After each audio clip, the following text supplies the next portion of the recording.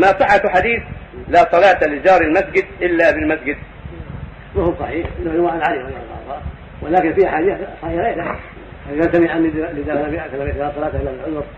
حديث النبي عليه الصلاة والسلام قال الأعمى لما سأل حدثه قائم نائمه قال من رخص صلى بيته قال هل تسمع النداء قال نعم قال فأجب. فلم يرخص له بعيد الدار أعمى ليس له قائد. طيب. ما احاديث أخرى تدل على وجوب صلاة الجماعة في